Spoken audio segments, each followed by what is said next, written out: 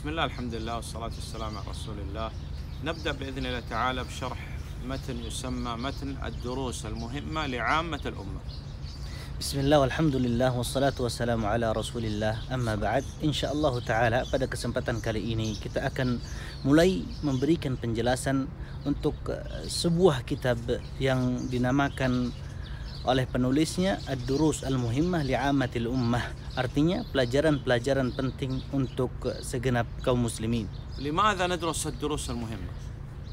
Kenapa kita harus mempelajari kitab Ad-Durus Al-Muhimmah? لأنها مهمة ومهمة لعامة الأمة Yang pertama karena di dalam kitab Durus Muhimmah terkandung masalah-masalah penting.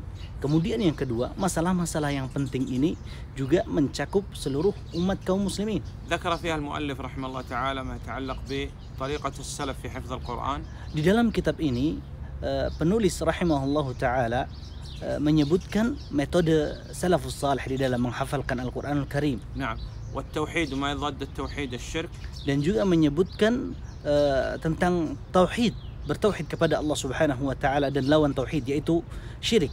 نعم وكذلك ما يتعلق بالصلاة Yang ketiga, penulis juga menyebutkan eh, penjelasan tentang salat نعم والوضوء الطهارة dan juga penjelasan tentang tata cara bersuci, berwudu الآداب والأخلاق الإسلامية dan menyebutkan juga tentang adab-adab dan akhlak-akhlak Islam وتجهيز الميت تكفينه والصلاة عليه serta menyebutkan tentang tata cara pengurusan jenazah dan tata cara mensolatinya. هذا الكتاب يحص- يصلح أن يدرس في كل دولة بأي لغة حتى لغير المسلمين وللمسلم al-jadid wallahu a'lam.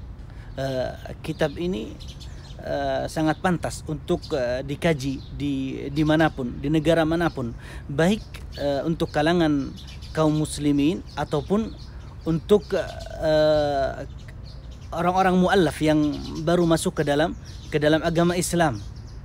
Nah, Allah.